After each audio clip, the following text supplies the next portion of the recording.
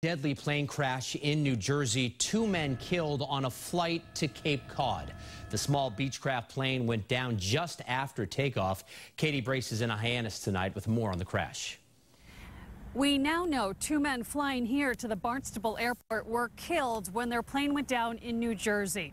Investigators have yet to release their identities. This is what was left of a small twin engine plane when it crashed shortly after takeoff. A responding officer summed it up in one word unidentifiable. The plane carved a path through a field and went across a road before coming to a halt in the woods. Witness photos show the debris field. It looked like it was trying to make emergency landing from what I seen. Uh, it hit low, the trees low, like it was, and it skimmed across the road and landed on the other side.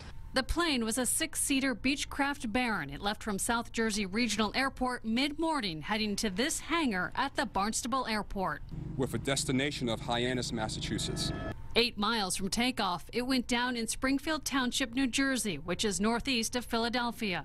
I heard something like a plane coming, coming in fast, like it was crashing. The control tower reported the plane had disappeared from radar.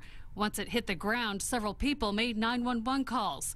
Paul Batchelor was golfing nearby when he heard a sound he will not forget. I was on the back nine. I actually heard the engine. I didn't really hear struggling, uh, but I did uh, just hear humming, and then next thing I know, I heard a thud. I didn't hear a crash, but just a thud. No one on the ground was hurt. The NTSB is still in New Jersey investigating the cause of the crash.